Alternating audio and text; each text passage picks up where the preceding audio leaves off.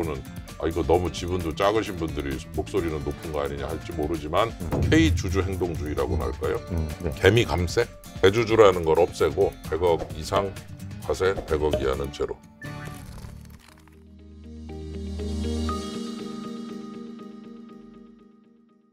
정치인 출연은 세 번째시네요.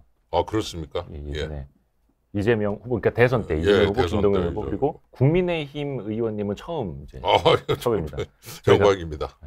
좌파 방송이 될 뻔했는데 이로써 이제 제가 이제 균형을 예, 잡아드리는. 균형 있는 이제 채널로 이제 자리매김. 어, 영광입니다. 아이 감사합니다.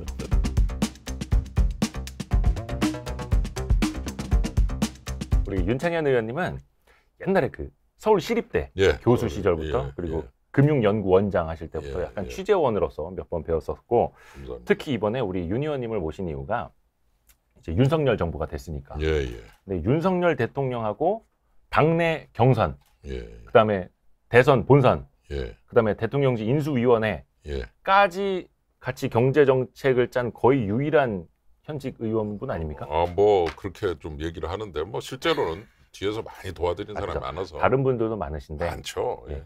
예. 당연히 그게 현직 의원으로서는 이제 경제 정책도 뭐, 키맨. 예. 뭐 키마이너는 아니고 그냥 the one of them, one of the many 예, 네. 이렇게. 예. 아주 본인 입으로 이런 걸 자랑 잘 못하시는 거 보니까 예, 아직은 비례대표시네요. 혹시 직접 투자나 예. 재테크 예. 이런 건 좀 어떻게 많이 하세요? 직접 투자는 이제 다 접었고요. 예, 과거에 좀 했었고. 아, 예, 지금 이제. 의원이 되신 다음에 그렇죠. 준비를 의원, 하셨고. 의원 되고 나서는 뭐 이제 완전히 다 뭐 저 정무위원회 있기 때문에 네네 그렇죠. 일종의 이해상충 문제도 많이, 있고, 예, 그래서 그런 거는 뭐 전혀 생각하지 않고 있고, 과거에는 뭐 주식도 하고, 뭐 옵션도 좀 하기도 아. 하고, 뭐 혹시 수익률은? 수익률은 뭐 괜찮았습니다. 예, 오. 예. 아마 그게 저 원장 되면서 강제로 끝내고 그래서 아마 그런 것 같아요. 끝까지 버텼으면 또 마이너스 되고 다 털어먹었을 수도 있는데, exit가 잘 좀 되셨구나. 그렇죠. 얼마 전에 오세훈 시장님은 음. 그 백지신타 안 하시려다가 버텼던 종목 음. 마침내 다 정리를 했는데 음. 팔자마자 일주일 만에 두 배 올라간 거 혹시 그 음. 아세요? 뭐 그런 비슷한 얘기 들은 것 같은데 원래 항상 이제 그런 거죠. 뭐그 종목 투자라고 네. 하는 것은 어, 어떻게 해야 될지 모르는 거고 또 A로 벌고 또 B로 벌고 또 C로 벌다가 또 D로 다 까질 수도 있고. 까질 수도 있고 이러기 때문에 어, 그 시- 릴레이로 저- 종목 투자를 계속해서 한다는 것은 참 그 오래 버티기가 힘든 면도 있다. 그렇게 항상 생각을 하고 있습니다. 근데 이게 참 뭐든지 결과입니다. 결과. 아, 그렇죠. 예. 근데- 말로가 좋아야 돼. 말로. 근데 엑싯을 잘해야죠. 끝낼 때 어떤 룰을 가지고 있다가 뭐 50% 벌었다, 100% 벌었다, 끝 이렇게 해서 예. 룰- 일단 거기서 끝을 내고서 뭐 그 다음에 음. 정산을 하든지 그래야지 그냥 계속 한다. A, B, C, D, E, F, G. 그럼 언젠가는 이제 안 좋은 종목이 들어와 갖고 음. 뭐억 한번 크게 손해를 보거나 그럴 수 있다는 거죠.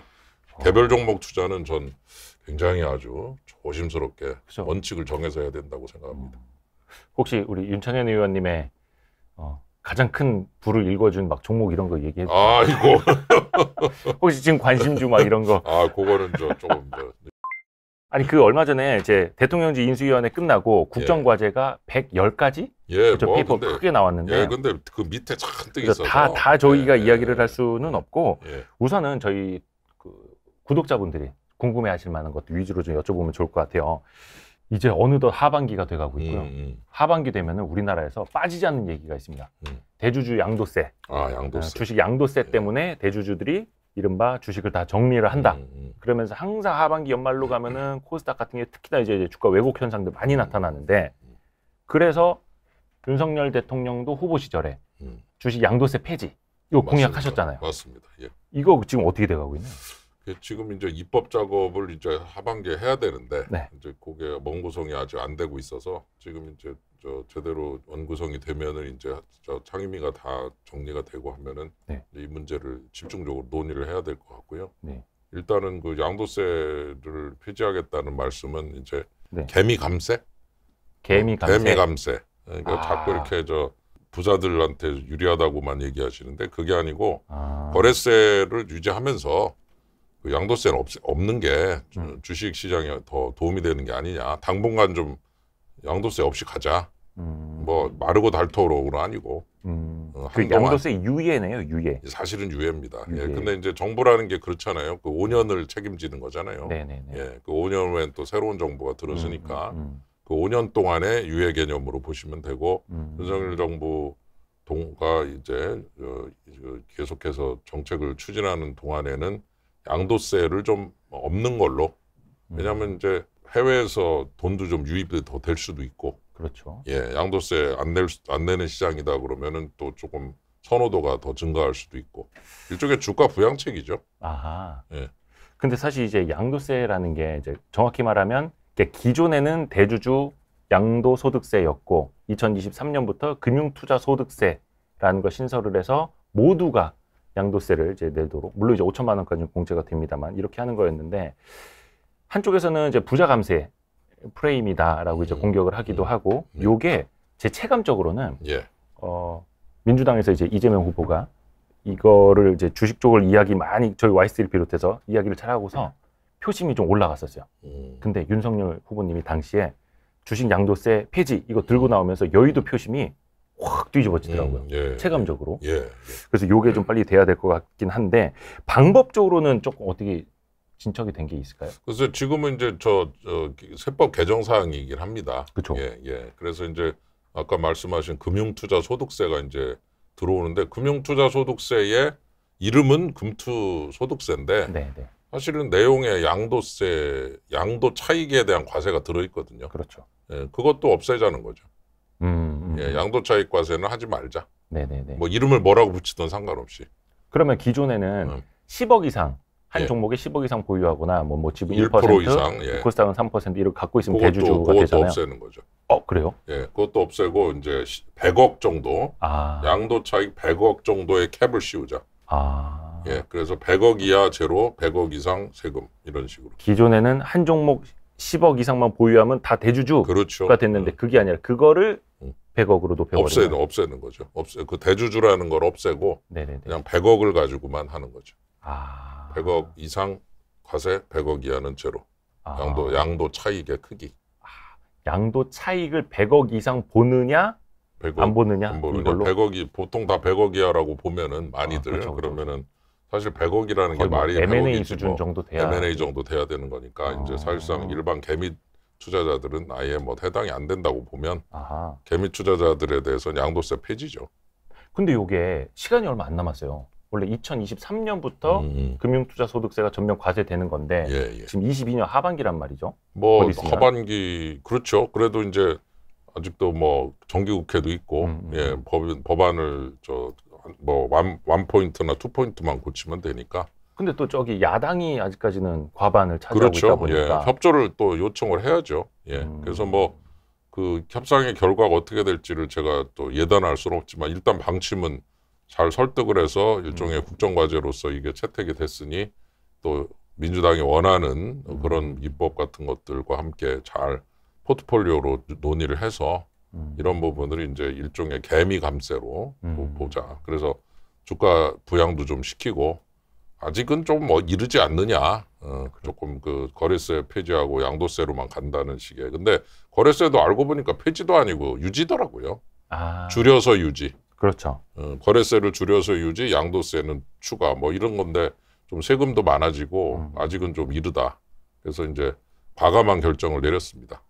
이제는 우리 개인 투자자분들이 많이 이제 인지를 하고 계시는데 예, 예. 이게 사실 대주주 그리고 음. 10억 이상 어, 한 종목에 10억 이상 갖고 있는 분들을 위한 정책이 아니라 사실은 그런 사람들 때문에 연말에 항상 주가가 왜곡이 음, 되다 보니까 그렇죠. 예. 그 피해가 다 고스란히 소액주주들한테까지 다 그렇죠. 오다 그런 보니까. 예. 그래서 전 재산이 3억도 안 되고 전 재산이 10억도 음. 안 되는 분들까지 대주주 양도세를 좀 음. 폐지해야 된다, 유예해야 된다, 그렇죠. 고쳐야 된다 이렇게 예. 막 청원을 했던 거잖아요. 예, 대주주란 10억 이상 대주주는 진짜 어떻게 보면 지금 부동산 값을 가지고 생각한다고 그러면 음. 제가 뭐 그런 돈을 너무 쉽게 얘기하는 거라고 하면 할 말씀 할 말은 없지만 10억 이상이라는 건 좀 너무한 거 아닙니까? 그 제가 볼때 음, 음. 대주주 어떻게 10억 그렇죠. 이상이 대주주입니까? 그래 말을 그렇게 어, 엉터리로 붙여놓은 거 아닙니까? 그 말이 삼성전자. 가서 10억 원어치 갖고 있다고 해서 대주주 대우 대주주라고. 해주는데. 예, 네. 그래서 대주주라는 말을 너무 함부로 남용을 한 느낌이라서 음, 그런 면에서 이제 이런 것들을 정상화시키는 것도 있고 맞습니다. 개미들 개미 투자들도 또 세금의 이익을 좀 볼 수 있으면 음, 보고 음, 또 음. 주가가 부양이 되면 부양된 만큼 또 이득이 돌아오고 이런 음. 부분이 합쳐져 있는 개미 감세적 그런 음. 과- 저 방법 방책이다 아. 이렇게 보시면 되겠습니다. 그러니까 사실 소득이 있는 곳에 세금이 있는 건 맞는데 예. 우선은 이 기울어진 운동장을 좀 평평하게 만들어 놓고 음, 또 이제 자갈 받친 운동장을 좀 제대로 좀 고르게 만들어 놓고 음. 세금을 거두려면 거둬라. 사실 음. 이런 목소리들도 많거든요. 그렇죠. 근데 이제 예. 대표적인 거 하나가 공매도. 예. 그렇죠. 기울어진 운동장. 예. 요것도 사실 공매도 제도 개선한다고 요것도 그 국정과제에 담긴 걸로 알고 있는데. 예, 맞습니다. 예. 크게 보면은 이제 공매도를 둘러싼 그 어떤 그 여러 가지 불만이랄까 그런 그 비판의 목소리는 기관 외국인과 형평성이 결여돼 있다. 그렇죠. 어, 예를 들어 뭐 담보 비율 같은 것도 더 높고 쉽게 말해서 어, 자격 요건이 까다롭다. 개인들한테는. 어, 개인들한테 까다롭고 그다음에 불공정 거래 같은 게 많은 것 같은데 그걸 보호를 못 해준다 개인들을 음, 어, 그런 차원에서 이게 이제 그 결과물인지는 모르지만 제가 네. 가져 나온 자료를 보면은 네.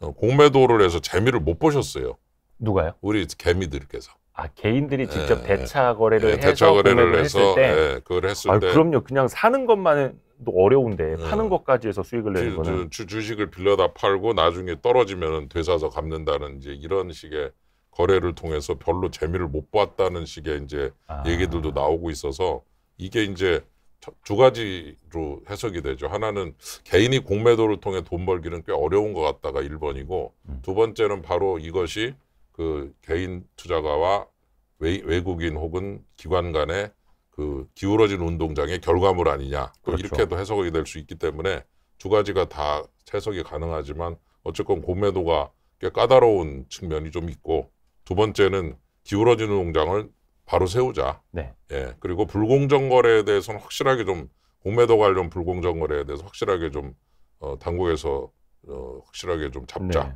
요런 그 과제들이 주어져 있어서 요거는 음. 아마 이제 어 자본시장 그 정상화를 하는 과정에서 이런 그 주제들에 대해서 굉장히 신경을 많이 쓸 것 같습니다. 이제 저기 막 금융위원장 인선도 발표가 됐더라고요. 예, 그렇습니다. 그러다 예. 보니까 이제 예. 조금 속도를 좀 내셨으면 좋겠고 예, 예. 사실 개인 투자 입장에서 저도 약간 그 해보려고 했어요. 그래서 공매도 한번 해보려고. 어, 근데 일단은 개인들은 대차라고 하는데 주식을 빌리는 것 자체가 어렵습니다. 그렇죠. 그 종목 자체도 그렇죠. 제한이 거기 돼 있죠. 있는 것 중에서만 할수 아, 있지. 예. 내가 팔고 싶은 주식을 빌릴 수가 없어요. 예. 그래서 이것도 뭐 개인 투자자들을 위한 대차 풀을 뭐 만든다는 뭐 이런 대책들도 나왔었는데 음, 아무 의미 없고요. 예, 떨어질 때 이익 본다는 숏 포지션으로 가는 것이 참 쉽지 않아. 그러니까 어, 대부분 그 한쪽으로 딱 선택을 하질 않으면은 네. 조금 음, 개인은 아마 양쪽으로 다 하기가 음, 어떤 종목은 낮게 사서 높게 팔아서 이익 보고 어떤 거는 높게 팔아서 낮게 떨어져서 되사서 갚아서 음. 네, 네. 이익 보고 이렇게 다 A, B 종목을 놓고서 두 가지 전략을 동시에 이렇게 병행한다는 것이 음, 참 쉽지 않으실 겁니다라는 생각이 들어서 맞아요. 예, 이 부분은 아주 주의 깊게 음. 잘저 선택을 하셔야 된다 이런 생각이 듭니다. 근데 의원님은 옛날에 옵션도 하셨었다면서요? 그렇죠. 뭐 풋옵션 사 풋옵션은 사서 네. 떨어지면 먹지만은 공매도는 빌려다가 팔아가지고 다시 떨어지면 되사는. 거니까 뭐 풋옵션 사는 거에 비해서 더 까다로울 수도 있죠. 예, 음. 그래서 차라리 뭐 주식이 떨어진다라고 하는 것에 대해서 강한 신념을 가지고 있다면 이제 옵션 거래 같은 거를 제한적으로 포트폴리오에 짜가지고 하는 거는 음. 방법이 있겠지만 기본적으로 뭐 상당히 그 조심스럽게 음. 잘 구사를 해야 될 정책이다. 제- 대책이다 이런 생각이 듭니다. 혹시 그 공매도 재선 방 뭐 이제 어떻게 구체화돼서 나올지는 모르겠습니다만 예, 예, 예. 이게 또 반대급부가 또 있잖아요. 뭐 예를 들어서 MSCI 선진 지수에 편입이 된다라든지 음. 이제 그걸 노리는 우리나라 입장에서는 음, 외국인 투자자들이 아니 쟤네는 왜 이렇게 공매도를 어렵게 만들어? 음.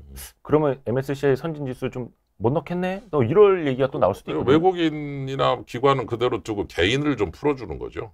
비슷하게 만들어주는 거죠. 이제 음. 근데 아마 똑같이는 어려울 겁니다. 왜냐하면 위험도가 좀 다르거든요. 음. 기관이 위험을 그 서- 어떤 감내할 수 있는 수준하고 개인이 위험을 감내할 수 있는 수준이 한계가 있기 때문에 음. 그것이 꼭 개인을 차별하는 것이 아니라 그 투자자가 위험을 얼마나 감내할 수 있느냐는 수준에 맞게 적당한 수준의 규율을 해야 되는 거니까 약간의 차이는 인정을 해야 되겠지만 너무 기울어진 운동장이다. 그거는 좀 배제를 해야 될 것이고 외국인에 대해서 이렇게 특별히 따로 더 규제를 강화하거나 하는 거는 지금 음. 크게 검토하고 있는 사항은 아닌 걸로 알고 있습니다. 외국인에 대해서 규제를 강화를 하는 게 아니라 음. 평평한 운동장. 그렇죠. 내국인에 운동장. 대해서 개인에 대해서 조금 지금보다는 조금 쉽게 할 수 있도록 해준다. 뭐 이런 개념으로 보시면 될 것 같습니다. 그리고 다만 어, 무차입 공매도라든지 불법 공매도가 어, 행해졌을 때는 예, 정말 강력하게 처벌을 하는. 그럼요. 그 부분에 대해서는 뭐 아주 여러 가지로 지금 고민을 많이 하고 있고 제 네. 금감원도 고민을 많이 하고 있는 거 알고 있는데 네.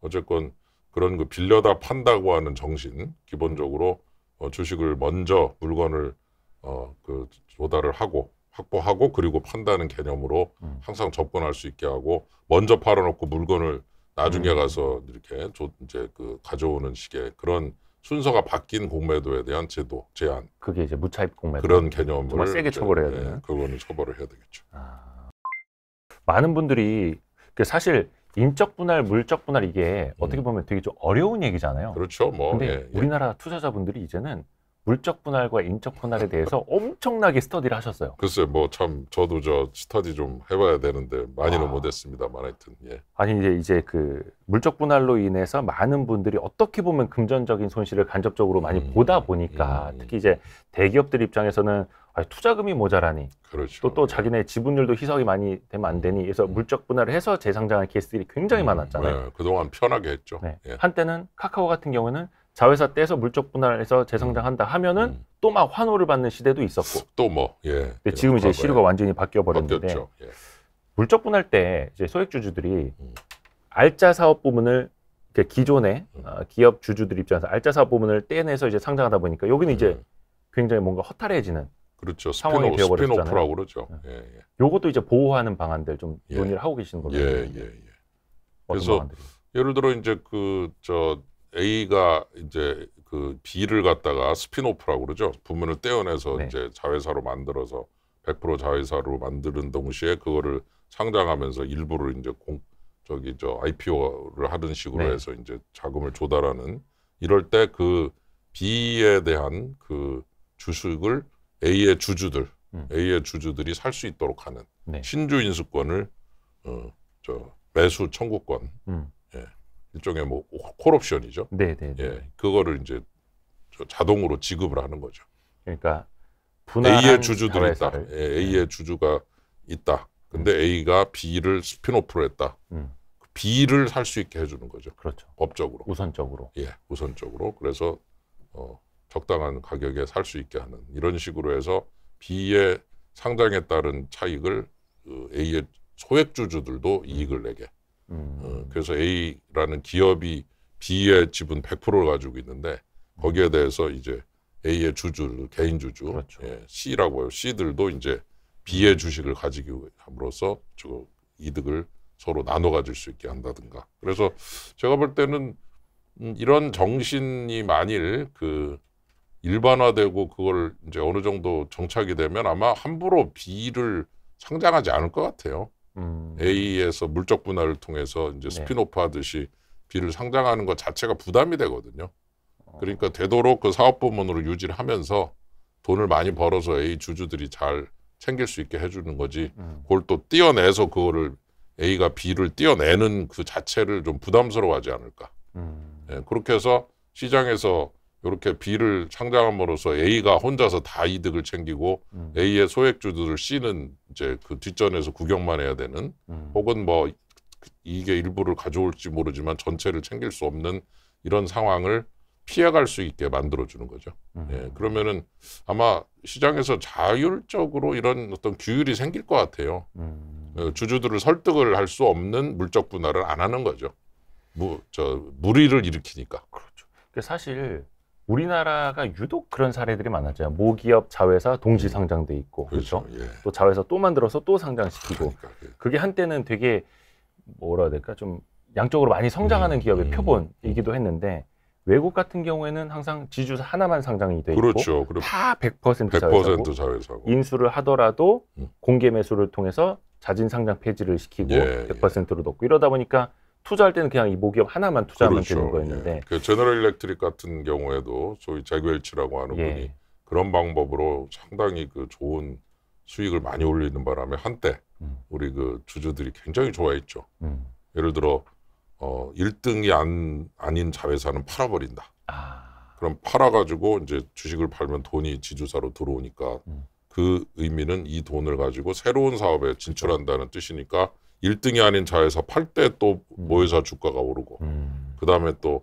더 굉장히 좋은 회사를 매수하면은 새로운 또 가능성이 생긴다고 그래서 또 주가가 오르고 예. 그래서 이, 이 holding company라고 하는 것의 진수를 참 잘 보여줬죠 제너럴 일렉트릭 물론 그 글로벌 금융위기 때 이제 금융 부분이 엉망이 되면서 아, 그 신화가 좀 막을 내렸지만 그렇죠. 예, 그 전까지 그 잭 웰치가 그 holding company 지주회사와 자회사의 어떤 모형을 이용해서 조금이라도 나빠지는 자회사는 매각을 해버리고 음. 아주 괜찮은 회사 사서 더 세계 1등 만들고 이런 개념을 통한 100% 자회사 유지 이게 아주 holding company라고 하는 것이 저런 거구나 저렇게 해서 이 지주회사의 주주들을 만족시키는구나 음. 주주 만족 경영이죠 음. 그래서 한때 물론 막 계속 가진 못했지만 그래서 우리도 좀 큰 그림으로 주주 만족 경영의 개념 음. 그래서 주주들이 뭘 좋아하고 주주들이 싫어하는 것은 피해 좀 피해가고 음. 뭐를 좋아하는지 알아갖고 그